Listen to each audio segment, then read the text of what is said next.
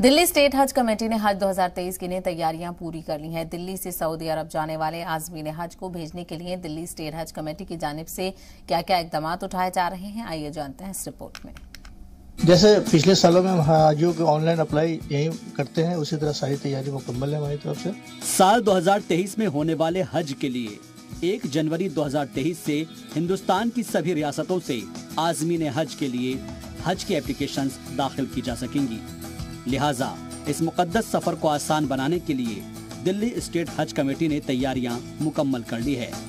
इस पर बात करते हुए दिल्ली स्टेट हज कमेटी के एग्जीक्यूटिव ऑफिसर जावेद आलम खान ने बताया कि हज मंजिल तुर्कमान गेट के दफ्तर पर अपने स्टाफ के साथ आजमीन हज के लिए सभी तरह की सहूलियात फराहम कराने के लिए उन्होंने अपनी कमर कस ली है।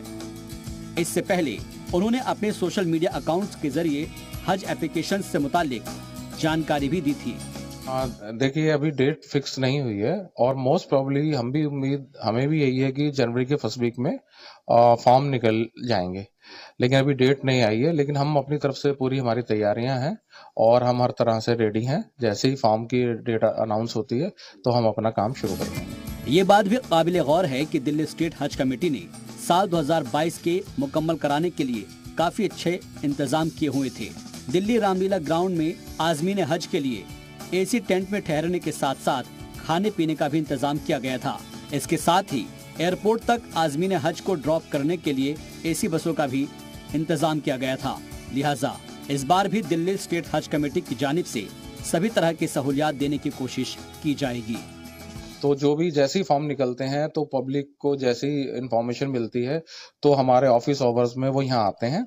और हमारे जितने भी कंप्यूटर्स हैं और स्टाफ है, ये हर सीट पे उनका एप्लीकेशन भरने का काम शुरू हो जाता है। अगर एक जनवरी 2023 से हज एप्लीकेशन की शुरुआत होती है तो उसके लिए भी दिल्ली स्टेट हज कमेटी ने पूरा इंतज़ाम किया हुआ है।